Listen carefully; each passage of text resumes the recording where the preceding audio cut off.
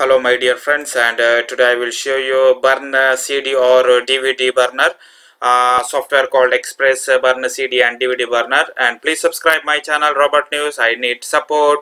Please my dear friends subscribe my channel. Without support I cannot upload uh, new software or new videos so in this software this uh, Express burner D, uh, CD or DVD burner version 11.09 and this is if you need to buy the license you need to pay only 30 dollar.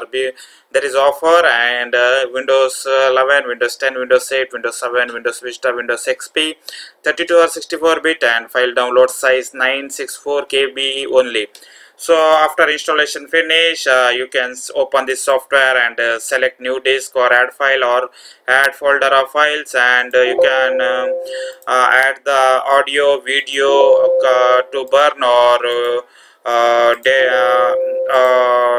ISO file also you can burn you can make and you can see tools. There is option like option eject disk load disk or and shoot like uh, mixpad and photopad and express rip video pad.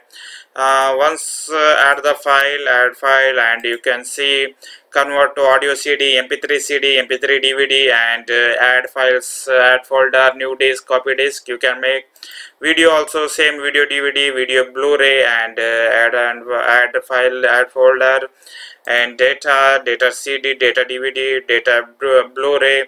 You can make an ISO file like a Windows image file also. Otherwise uh, softwares also you can make uh, create ISO and write ISO you can make.